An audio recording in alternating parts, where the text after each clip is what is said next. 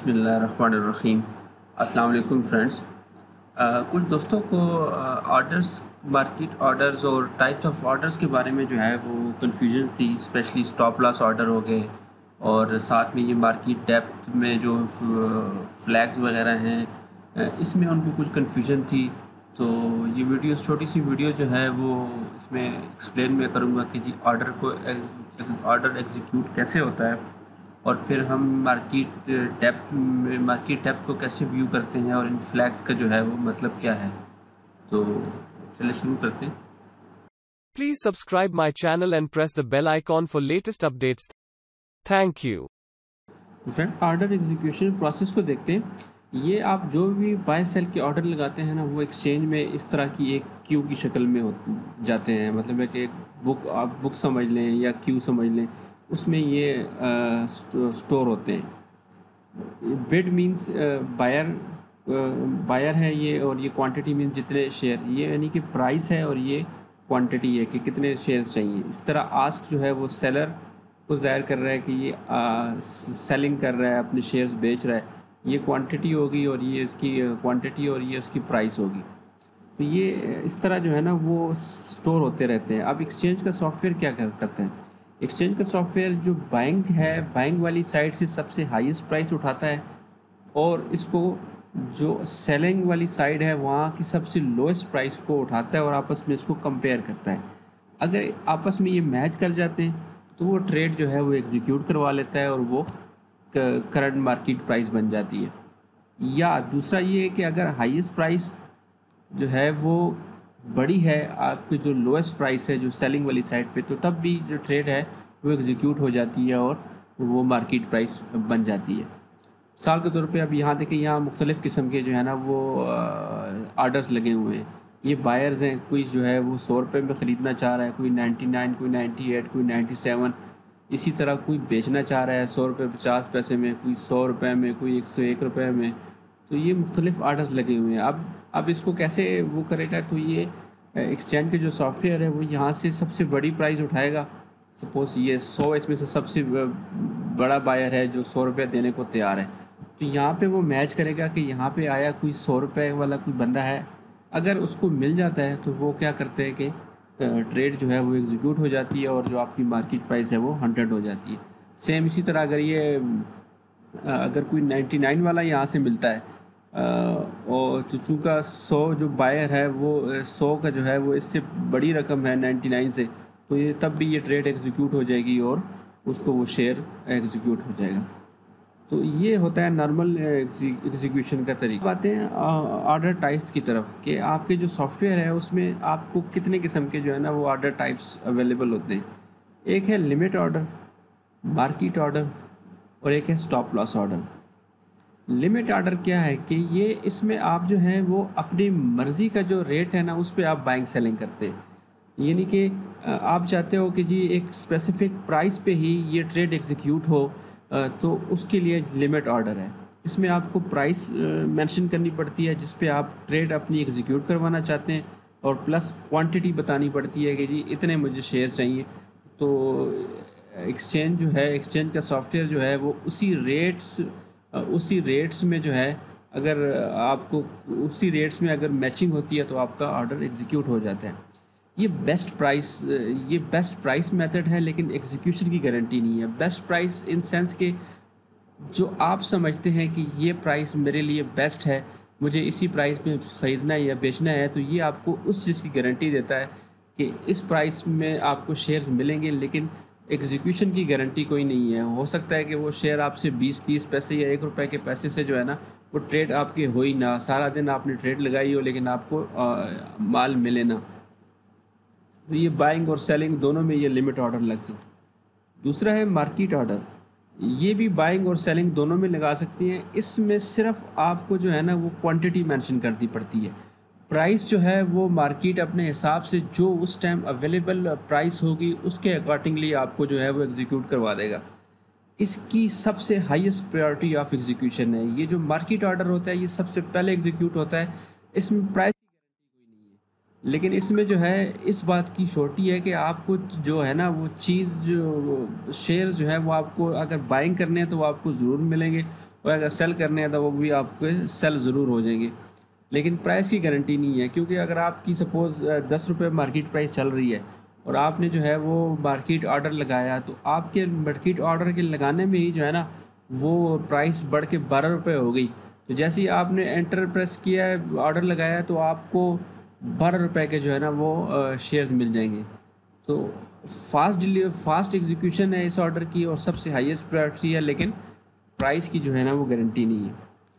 तीसरा है stop loss stop loss order stop loss order वो होता है कि सपोज़ आपने एक चीज़ जो है ना वो सौ रुपये में बाय कर ली है। अब आपको, अब आप ये कहते हो कि यार इसकी जब प्राइस जो है वो नाइन्टी फाइव पे अगर ये जाता है ना तो फिर मेरा ये ऑटोमेटिकली सेल हो जाए। तो उस सूरत में आपको स्टॉप लॉस ऑर्डर लगाते हैं। ये बाइंग और सेलिंग दोनों पे लगाते हैं। इसमें आपको तीन पैरामीटर देने पड़ते हैं। एक तो आपको अपनी जो प्राइस है एग्जीक्यूशन प्राइस यानी कि जिस प्राइस पे आप ट्रेड करवाना चाह रहे हैं, वो देनी पड़ती है। एक trigger price trigger trigger price इसमें मेंशन करनी पड़ती है। और एक दूसरा जो है ना, इसमें क्वांटिटी मेंशन करनी पड़ती है। तो ये तीनों चीज़ें जब आप डालेंगे तो तब आपका ये स्टॉप लॉस ऑर्डर मिलेगा। ये नॉर्मली इनएक्टिव होता है। ये जो दो ऑर्डर होते हैं ना लिमिट ऑर्डर और मार्केट ऑर्डर ये तो जैसे ही आप एंटर करते हैं, ये डायरेक्टली चले जाते हैं स्टॉक में एक्सचेंज में चले जाते हैं और वहाँ पे वो जो बुक है या क्यू है, उसमें लिस्ट हो जाते हैं और लेकिन ये जो स्टॉप लॉस ऑर्डर है ना, ये इनएक्टिव रहता है। ये जब तक ट्रिगर प्राइस आ नहीं जाती ना मार्केट मार्केट में जो आपने जो ट्रिगर प्राइस में जो भी वैल्यू दी होगी, अगर वो प्राइस जो है वो स्क्रिप्ट की प्राइस वहाँ तक आ जाती है तो तब आपका ये जो स्टॉप लॉस ऑर्डर है, ये एक्टिव हो जाएगा और एक्टिव हो के वो उस लिस्ट में चला जाएगा क्यू वाली लिस्ट में चला जाएगा और वहाँ से फिर उसको एग्जीक्यूशन स्टार्ट होगी। तो जो ट्रिगर प्राइस है, वो हमेशा या तो बड़ी हो या इक्वल हो एग्जीक्यूशन पे, अगर आप सेलिंग साइड पे हैं। और ये स्टॉप लॉस ऑर्डर बाय पे भी लोग लगाते हैं, ये नहीं कि सिर्फ़ ये सेल बैंक पे भी लगता है कि अगर आप चाहते हो कि एक प्राइस जो है, वो एक मखसूस लेवल से ऊपर हो तो तब भी मैं बाय करूँ तो उसके लिए भी आप ये स्टॉप लॉस आर्डर लगाते हैं। अगर आपने बैंक से बाइंग आर्डर लगाना है तो फिर जो आपकी ट्रिगर प्राइस है ना वो आपकी जो एग्जीक्यूशन प्राइस है उससे कम हो या उसके बराबर हो। सेल ऑर्डर लगाना चाहते हो वो भी स्टॉप लॉस के साथ। कि आप चा, चाहते हो कि जब 95 तक प्राइस आए तो फिर मेरा ये शेयर जो है ना वो सेल हो जाए। तो आप अपने एग्जीक्यूशन प्राइस 95 लगा रखेंगे। ट्रिगर प्राइस जो है वो अगर आप 95 रखते हैं तो ये भी ठीक है, चलेगा, क्योंकि ये इक्वल है। अगर आप उससे ऊपर के लिखते हैं 95.10 और 96 रखते हैं 97 रखते हैं तो तब भी ये सही है, क्योंकि आपकी जो ट्रिगर प्राइस है ये बड़ी है आपकी एग्जीक्यूशन प्राइस से। लेकिन अगर आप इससे छोटी प्राइस रखेंगे तो वो आपको अलाउ नहीं करेगा। वो कहेगा, नहीं ट्रिगर प्राइस हमेशा जो है ना आपकी एग्जीक्यूशन प्राइस से बड़ी होगी, अगर ये आपका स्टॉप लॉस ऑर्डर है सेल ऑर्डर है। इसके वाइस वर्षा अगर आपने बाय ऑर्डर लगाना है स्टॉप लॉस में सपोज़ वही एग्जांपल है कि आपने एक प्राइस जो है अभी सपोज़ नब्बे पे ट्रेड हो रही है। आप चाहते हो कि यार अगर ये पचानवे पे जाए ना तो तब मैंने बाय करना है। कोई ब्रेकआउट लेवल है या कोई रेजिस्टेंस ब्रेक हुई है वट जो भी है। आप ये चाहते हो कि जैसे ही ये प्राइस 95 से क्रॉस कर तब मैं जो है ना इसको, मेरा बाइंग ऑर्डर जो है वो एक्टिवेट हो जाए। तो आप यहाँ पे एग्जीक्यूशन में जो है 95 रखें। ट्रिगर प्राइस में जो है ना, इससे छोटी वाली प्राइस रख लें 94.50 रखेंगे तो ये आपको एक्सेप्ट करेगा। या उसके अगर बराबर भी रखते हैं 95 भी रखते हैं तो ये आपको तब भी एक्सेप्ट करेगा। लेकिन अगर बड़ी प्राइस रखते हैं बाय ऑर्डर में तो ये आपको जो है ना, वो अलाउ नहीं करने देगा। वो आपको ये रिजेक्ट कर देगा। तो लिमिट और मार्केट ऑर्डर ये उसी वक्त फ़ौर ही जो है वो एक्सचेंज में चले जाते हैं। स्टॉप लॉस ऑर्डर जो है, ये इनएक्टिव रहता है जब तक ये ट्रिगर प्राइस जो है ना, वो एक्टिवेट नहीं हो जाती। जैसी ट्रिगर प्राइस एक्टिव होती है, ये आपके जो ऑर्डर है, ये मार्केट ऑर्डर बन जाता है और वहाँ पे जाके ना लिस्ट हो जाता है और वो जो एग्जीक्यूशन वाला प्रोसेस है, वो इसके साथ शुरू हो जाता है। अब ये जो क्यूज़ है, ये जो क्यू है, इसमें जो एक्सचेंज में जो ऑर्डर लगे होते हैं ना, पहले दस ऑर्डर्स होते हैं, वो आपके सॉफ्टवेयर में ये है फैसिलिटी मौजूद है कि आप वो पहले दस ऑर्डर्स को जो है ना वो अपनी स्क्रीन पे आप देख सकते हो। इसको एमबीओ या एमबीपी कहते हैं मार्केट डेप्थ कहते हैं। ये मार्केट डेप्थ पे जो ऑर्डर है ना, ये इसमें आपको जो ऑर्डर वाइज पहले दस ऑर्डर्स होंगे ना, वो आपको यहाँ पे शो होंगे। और जो मार्केट डेप्थ बाय प्राइस है ना, वो आपको प्राइस के लिहाज से जो पहले दस ऑर्डर्स बनते हैं, वो आपको शो होंगे। मिसाल के तौर पे अब ये एक ऑर्डर है। अब ये एक बंदे ने जो है ना ये ऑर्डर दिया है कि तिहत्तर रुपये साठ पैसे पे पंद्रह सौ शेयर चाहिए। इस तरह इसको तिहत्तर रुपये साठ पैसे पे पच्चीस सौ शेयर चाहिए। तो ये एक एक ऑर्डर्स हैं। ये आपके जो दस ऑर्डर होंगे, ये आपको नज़र आएँगे। जबकि मार्केट डेप्थ बाय प्राइस में जो है ना, इसी को जो एक जैसी प्राइस है ना, उस उस वाले ऑर्डर्स को इकट्ठा कर देते हैं। सपोज़ तिहत्तर इशारिया इकसठ पे अब तीन ऑर्डर्स हैं। तो वो यहाँ पे तीन ऑर्डर्स लगा के ना, उसको एक ही एक ही में आपको दिखा देंगे। यहाँ से आपको पता चलता है कि जी किस प्राइस पे जो है ना वो कितने कितने ऑर्डर्स लगे हुए हैं और यहाँ से आपको पता चलता है कि कितना बड़ा ऑर्डर लगा हुआ है, किस प्राइस पे कितना बड़ा ऑर्डर लगा हुआ है। यहाँ पे वो आपको वॉल्यूम तो दे रहा है, लेकिन ये नहीं बता रहा कि ये ऑर्डर एक है मल्टीपल ऑर्डर है और इसमें से बड़ा ऑर्डर कौन सा है। जबकि ये मार्केट बाय ऑर्डर में आपको पता चल जाता है कि जी ये अब हाई वॉल्यूम वाला ऑर्डर लगा हुआ है कि नॉर्मल जो है ना वो वो लगे हुए हैं। फिर इसमें ये एक फ्लैग फ्लैग शो होते हैं ये। जिस तरह डीसी हो गया एलडीसी हो गया एचडीसी हो गया। तो रेगुलर मार्केट जो है रेगुलर मार्केट जो रेडी मार्केट होती है, जिसमें आप अपने जो है ना, वो कैश पे काम करते हैं, उसमें ये दो फ्लैग होंगे डीसी और एलडीसी जबकि जो फ्यूचर मार्केट होगी उसमें ये तीन फ्लैग होंगे डीसी होगा एचडीसी होगा और एलडीसी होगा। तो इसका मतलब क्या है? इसका मतलब सिंपल सा है कि डीसी का मतलब है नॉर्मल ऑर्डर नॉर्मल ऑर्डर क्या होता है कि पहले जो प्रोसेस है कि पहले आप एक शेयर्स को बाय करते हैं। उसके बाद अगर वो शेयर वो शेयर जैसे बढ़ता है तो आप उसको सेल करते हैं। यानी कि फ़र्स्ट बाय होता है, उसके बाद सेल होता है। तो ये होता है, इसको कहते हैं नॉर्मल नॉर्मल ऑर्डर रेडी और फ्यूचर ये दोनों में होता है।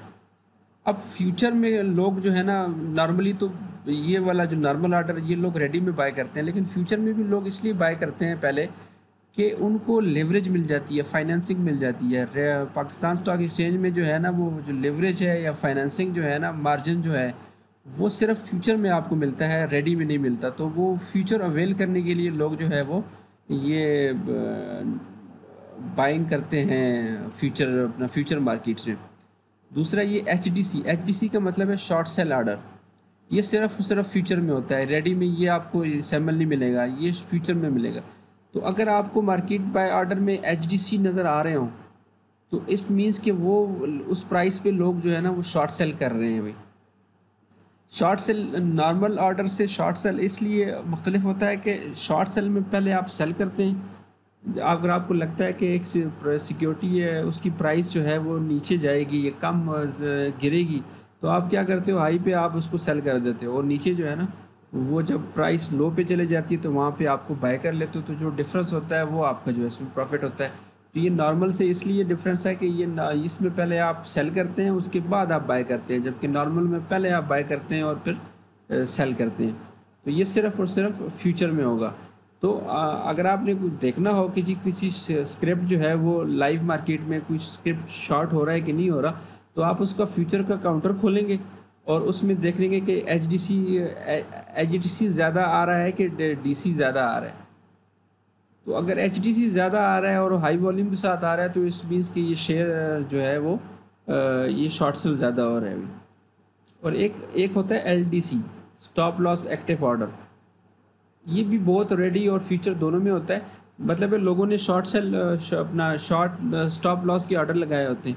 जैसे ही वो ट्रिगर प्राइस जो है ना वो एक्टिव ट्रिगर प्राइस आ जाती है तो ये ये वाला आपका जो स्टॉप लॉस वाला ऑर्डर है वो आ, चला जाता है एक्सचेंज में। तो उसके साथ ये फ्लैग लगा देते हैं कि एल डी सी की ये स्टॉप लॉस ऑर्डर था। तो ये सिंपल से तो अभी मैं आपको वो दिखाता हूँ टर्मिनल पे जाके मैं दिखाता हूँ कि ये कैसे जो है ना वो हम ये आर्डर देते हैं। तो ये टर्मिनल है इसमें जो है ना ये बाय बाय ऑर्डर वाला फॉर्म है।